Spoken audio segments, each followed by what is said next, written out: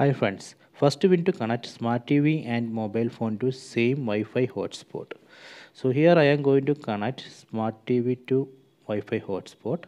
In your smart TV go to settings, network, then select Wi-Fi wireless connection, then select the Wi-Fi hotspot. So here I am using my Wi-Fi hotspot. Select it and connect then in your mobile phone go to settings tap on settings then tap on connections then tap on Wi-Fi.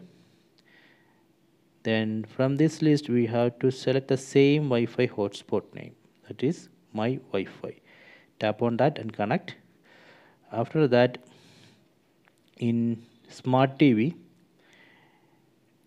we need to open Miracast open Miracast then you can see the name of the device it's smart TV then go to mobile phone from top drag down drag down one more time. Then you, here you can see smart view tap on that.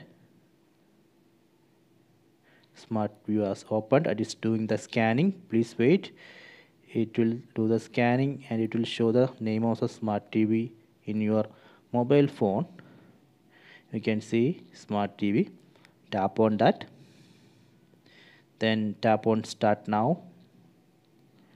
Okay it's connecting. Now in your smart TV you can see it's connecting wireless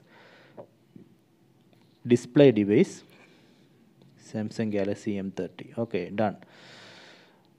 So now you can see let me go to settings.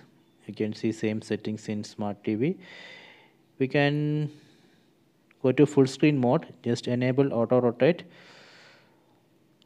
in this way we can share mobile screen with smart TV okay please try it